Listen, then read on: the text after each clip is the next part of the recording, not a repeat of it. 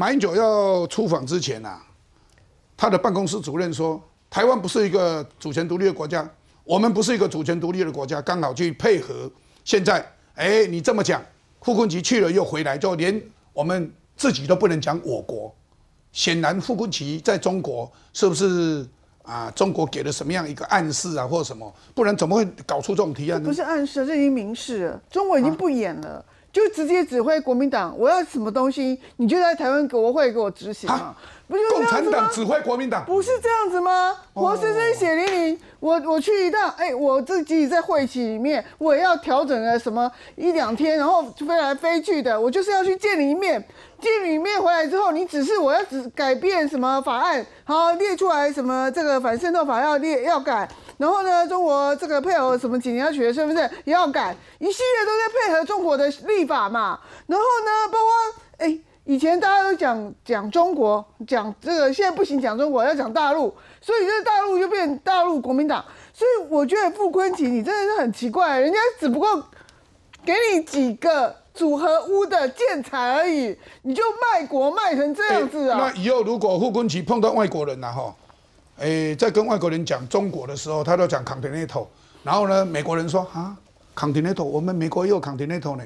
然后跟欧洲人讲 continental，欧洲人说哦，我们也有 continental。啊，到底以前的公德位，对，没有人听得懂哎，根本搞不懂啊。有有一种可能啦，就有一种可能啦。可能什么就是中国傅昆萁，傅昆萁从中国回到台湾来之后呢，就是本节目主持人一直笑他说，你看人家王沪宁把你的名字念错两次，表示人家觉得你不是那么的重要，所以傅昆萁可能觉得说，哇，那之前做之前做了这么多啊，中国还没有觉得他很重要，他把名字念错两次。那所以他现在当然要多做一点了，多做一点，让中国觉得他更重要。你看之前的国民党的，之前的国民党在做的时候还可以接受，就是说，比如说在里面在写说这个中国大陆，对不对？那现在呢，干脆连这个前面都不要，就是讲中国，讲中国大陆不行，然后只能讲大陆，然后讲台湾的部分讲我国不行，只能讲台湾。这投名状吗？这是投名状。所以这个这个可能跟跟你讲他名字说被王沪宁念错两次有关系了。哎，傅奇坤这样。多多做一点，只为了要把傅奇坤改成傅坤奇吗？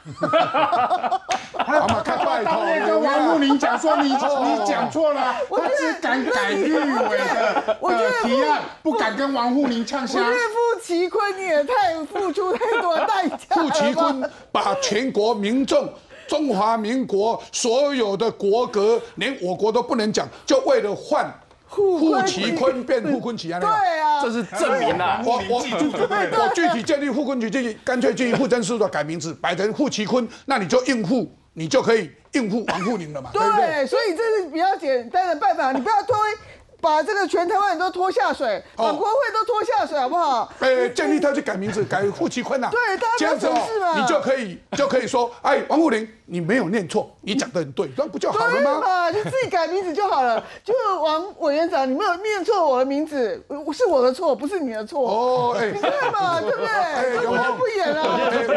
那个国民党不搬啊，国民党不演了。台湾现在有两个维氏小弟，一个就是国民党，他已经彻彻底底成为共产党的维氏小弟；第二个维氏小弟就是民众党，他是国民党的维氏小弟。我先讲这个。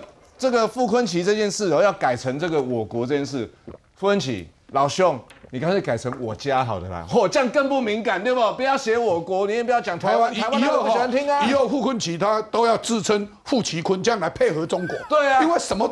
共产党他指挥国民党，干脆他改傅奇坤，这样子就配合中国的嘛。完全配合最大的指示就是傅奇坤，好，你要彻底执行。他傅奇坤，你那绝对是故意的啦，意思要告诉你说。你叫什么名字？对我来说，I don't care，我不 care 啦。我让你知道你不是咖啦，什么名字都好像不重要了，乖乖听话。他回来就乖乖听话，对不对？那时候讲说他回来修改国安无法，是不是就修了？对不对？然后他现在连这个不能叫我国，哎，他傅昆萁以前的提案，大家把它调出来，Google 就好了，都不用我去找资料。